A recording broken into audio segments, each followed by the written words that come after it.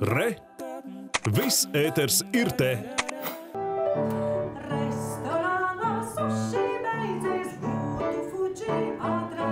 Dziesmu par sushi meistaru no Fuji var atrast muzikālajā geogrāfijas Atlantā bērniem. Dziesmu uzrakstījis komponists Jānis Lūsēns ar jaunās dzēnieces Loretas Kalniņas tekstu. Atvēršanas svētkos to dzied Latvijas radio kodziedātāja Inga Martinsona kopā ar visu Lūsēnu dzimtu un viņu draugiem, jo viss ir grāmatas autori. Šeit ir pilnīgi viss jaundarba, jaundarba jā. Šeit nav nekāda, tas ir pilnīgi eh, no jauna rakstīts dziesmas tieši šim projektam.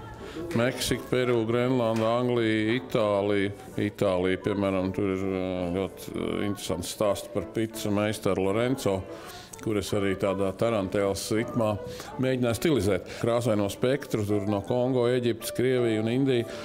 Tad eh, es biju arī spiests mazliet pastudēt šo tautu mūziku. Latvijā bija tāds vairāk tā kā rīts, tāda aina ar rītu Latvijā, kad gaļi modina bērnus un, un visu Rīgu modina. Par ritmiem runājot, tas arī noteikti bija man izaicinājums, tāpēc, ka es līdz šim rakstīju dzēju verlibrā, brīvajā pantmērā, bez atskaņām un pilnīgi tādā savā plūdumā.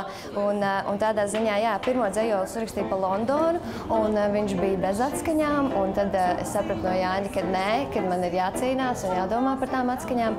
Zinesi, 12 dziesmas ir ar notīm un diviem skaņu diskiem - latviešu un visās zemju valodās, par kurām grāmatā rakstīts.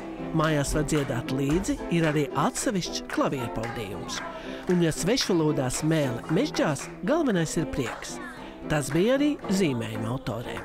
Tā ir Klāra Vēgmana. Te ir apvienojušies arī tādi eh, teiksim, tā startautiski mākslinieki jaunie. Tā ir meitenīte no Vācijas, Mārtiņa māsiņa. Un tā ir uh, Magdalēna Keiša.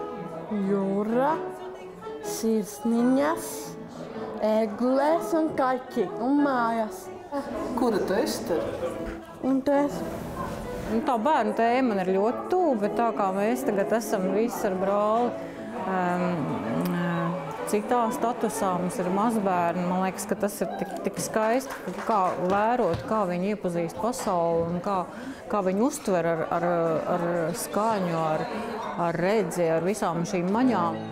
Māksliniece Anita Lūsēna un viņas meita Marta Vegmana ir dzinējspēks, kas apvienojas Lūsēna dzimtas un viņa draugu radošās personības trijās paudzēs.